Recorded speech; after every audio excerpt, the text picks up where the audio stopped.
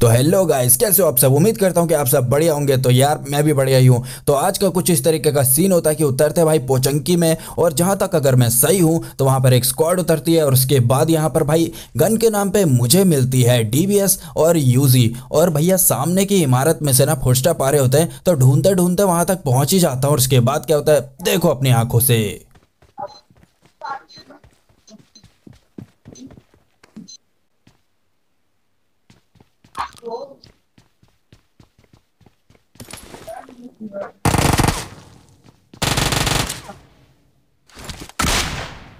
तो इसको लुका छिपी खेलनी थी तो इसकी पेटी बना दी। खैर, आगे से गोली चलने की आवाज़ आती है, जितने में मैं तुमसे ये बात कर ही रहा हूँ।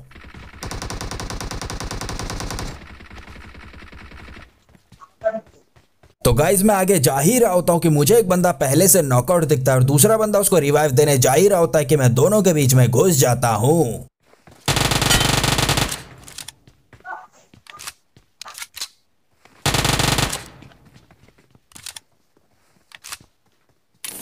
अब जो बंदा पहले से नॉकआउट था भाई, उसको मेरे ही बंदे ने नॉकआउट किया था। खैर, यहाँ पर मैंने इनकी मक्खन पेटी बनाई थी। अब आगे का ये सीन होता है कि एक बंदा यहाँ से भाई भागा था। उसके फुटस्टेप यहाँ पर आपने सुने होंगे। तो मैं उसको ढूँढने की कोशिश करता हूँ और इतने में बॉड भैया मेरी मदद करते कि आखिरकार वो है कहाँ।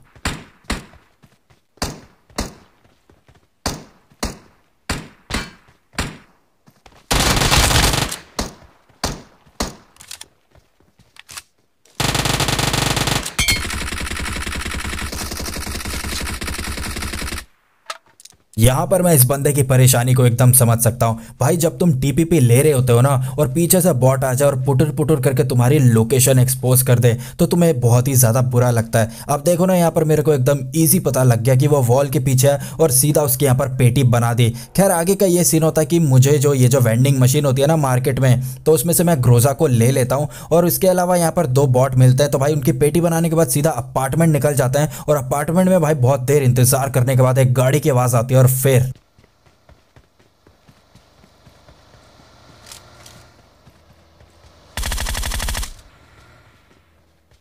अब जैसे मैं इन पर गोली चलाता हूँ तो ये लोग आगे वाले अपार्टमेंट में जाकर के रुक जाते हैं और फिर मैं ऊपर जाके नेट करने की प्लान कर ही रहा होता हूँ कि इतने में यहाँ पर गाड़ी की आवाज़ आती है और उसमें दूसरी स्क्वाड आ जाती है और एक बंदा मेरे को ग्राउंड पे भगता हुआ भी दिखता है। आगे देखो।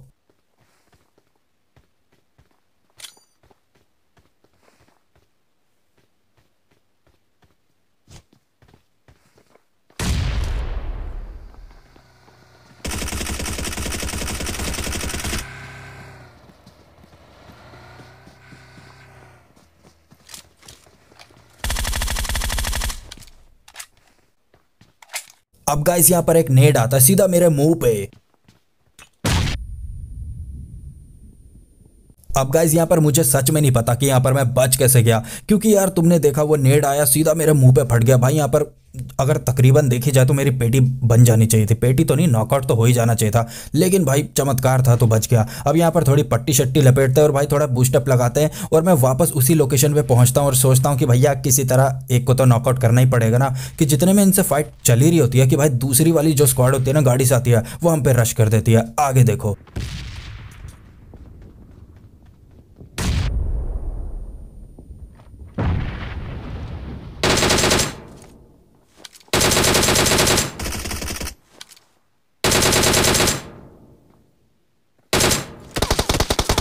Location.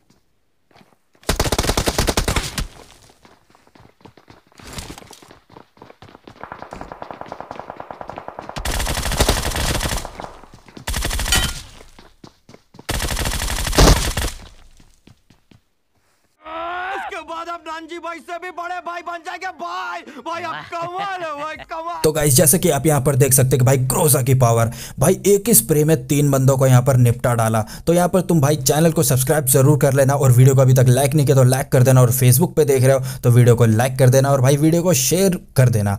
तो अब आगे का सीन बताता हूँ। वैसे तो यहाँ मज़ा ही आ गया। आगे का ये सीन होता है कि भाई वापस उस खिड़की के पास जाते हैं और भाई मेरे पास नेट बहुत सारे हो जाते हैं। तो मैंने सोचा, यार, और नेट क्यों ना करे जब इतने नेट पड़े कि इतने में भाई पहाड़ी की साइड भी कुछ बंदे फिर से आ जाते हैं। तो फिर क्या होता है? आगे देखो।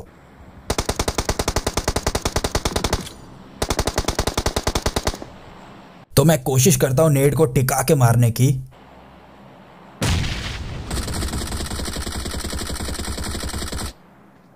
अब यार यहाँ पर क्या ही कर सकते हैं? जब नेड इतने ज़्यादा घटिया है तो। खैर यहाँ पर भाई मैं इनको छोड़ता हूँ और भाई पहाड़ की तरफ़ एक बार देखता हूँ कि वहाँ पर क्या माजरा चल रहा है। मैं देखता हूँ वहाँ पर स्मोक हो जाता है और एक बंदा है ना बार बार पिक कर रहा होता है। भाई गोलियाँ खाने के बाद भी पिक कर रहा होता है। देखो आगे। अब गोलियाँ खाने के बाद भी ये नॉकआउट नहीं होता तो मैं भाई दोबारा कोशिश करता हूँ और ये दोबारा पिक करेगा।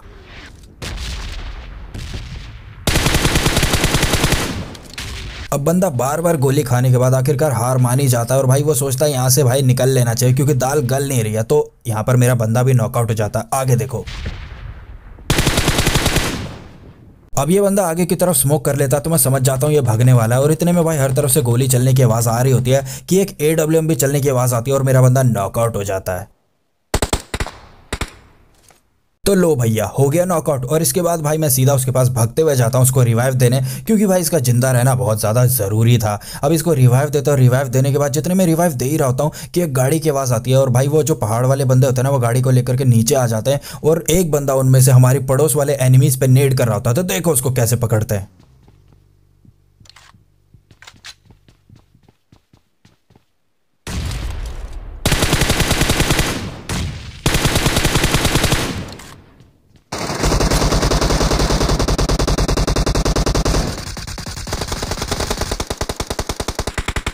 मैं उम्मीद करता हूँ कि तुम यहाँ पर सीन को समझ ही रहे होगे। भाई, पहाड़ से जो बंदे आते हैं, वो पूरे के पूरे चार होते हैं, जिनमें से मैं एक की तो पेटी बना जाता हूँ, जैसे कि तुमने देखा। बाकी के तीन जा करके भाई उन अपार्टमेंट वाले दो बंदों को फिनिश कर देते हैं। तो कुल मिलाकर के अब उस अपार्टमेंट में भाई उन पहाड़ी वाले तीन बंदों का कब्जा है। और भाई इन पहाड़ी वाले बंदों का नाम ना ई करके शुरू हो रहा था, चारों के चारों का।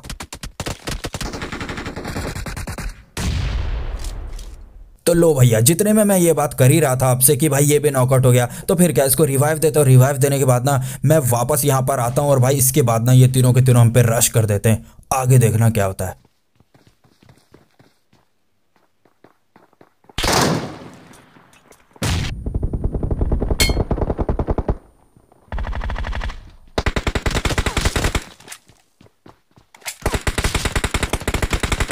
तो आखिरकार ये लोग भी यहाँ पर आ ही जाते हैं। अब यहाँ पर मैं अंदाज़ा लगा रहा होता हूँ कि कौन कहाँ पर है।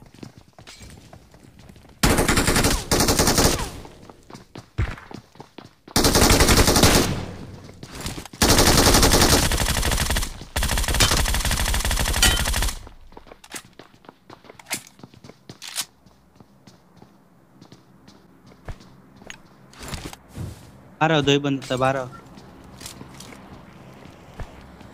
तो गाइज़ इसे कहते हैं एकदम संयम से काम लेना यानी कि एकदम आराम से, भाई यहाँ पर अगर मैं सारी गोली फायर कर देता ना तो पक्का मेरी पेटी बन जाती, क्योंकि दो नंबर तो वैसे भी नॉकआउट हो ही चुका था, पर यहाँ पर एकदम आराम से काम लिया और भाई दो को नॉकआउट किया और तीनों की पेटी आखिरकार आग की बोतल से बना दिया और फटाक से इधर आकर के भाई यहाँ पर मेडिकेट लगाता हूँ और उतने में दो नंबर को भी रिवाइव देता हूँ। रिवाइव देने के बाद भाई यहाँ पर जोन बने ही जा रहा था तो भाई हमने सोचा क्यों ना यहीं पर रुके और भाई बाहर जब मैं खिड़की से देख ही रहा होता ना बहुत देर बाद तो एक बंदा मेरे को लेटा हुआ दिखता है जिसने भाई हमारे दो नंबर को ना पट से हेडशॉट भी दिया था। इसका नाम मैंने रीड किया था। अब आगे देखो।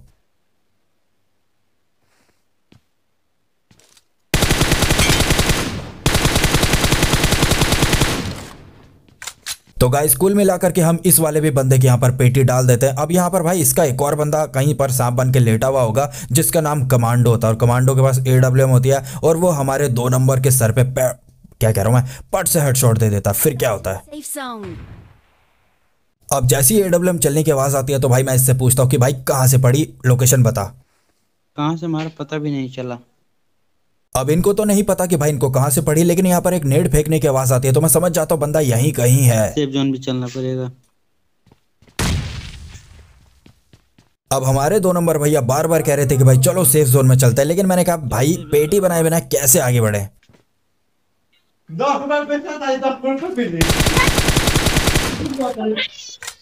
तो गाइस इस तरीके से इस वाले भी बंदे की पेटी डाल देते हैं और इसकी पेटी डालने के बाद मैं फटाक से इसकी पेटी में से जा करके AWM को ले लेता और भाई जोन आ रहा होता तो सीधा गाड़ी को पकड़ के भाई जोन में निकल पड़ता है और जोन में गाड़ी घुमा घुमा के देख रहा होता कि भाई बंदे कहाँ हैं, पर कोई नहीं दिखता तो अंत में एक झोपड़ी दिखती है। तो झोपड़ी के पास गाड़ी रोकते हैं और मैं एकदम चौड़ में भाई ए को लेकर के भाई एकदम मस्त था कि मुझे यहाँ पर भाई नानी याद आ गई और पता चल गया कि भाई दूसरों के पास भी AWM हो सकती है। आगे देखो।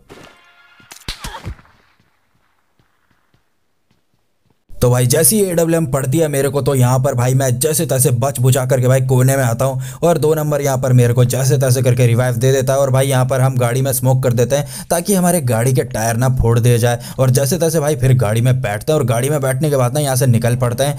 किसी अच्छी जगह पर। और एक रिच के पास ना जा करके अपनी गाड़ी को रोकते हैं और वहाँ पर रोकने के बाद ना मैं बंदों को लोकेट करने की कोशिश कर रहा होता हूँ, पर भाई बंदे मुझे लगता है घर में लेकिन असल में तो भाई बंदा सांप बन के लेटा हुआ होता है। तो फिर क्या होता है? आगे देखो। अब यही मौका होता है जब मेरे को झाड़ी में हल्की सी हलचल दिखती है।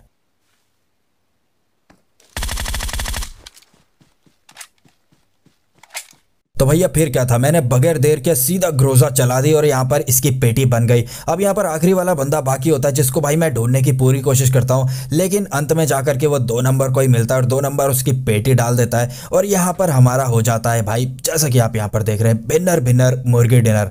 तो यार कुल मिलाकर के मैं उम्मीद करता हूँ कि आपको वीडियो पसंद आई होगी। अगर आपको वीडियो पसंद आई है तो भाई वीडियो को लाइक कर देना और चैनल को सब्सक्राइब कर देना और यार मैं तुमसे मतलब क्या ही कहूँ यार यार मतलब ज़रूर के ज़रूर कर देना और कुल मिलाकर के मैं मिलता हूँ आपसे अगली वीडियो में टाटा sayonara bye bye Let's take it slow. Where you go, I go too.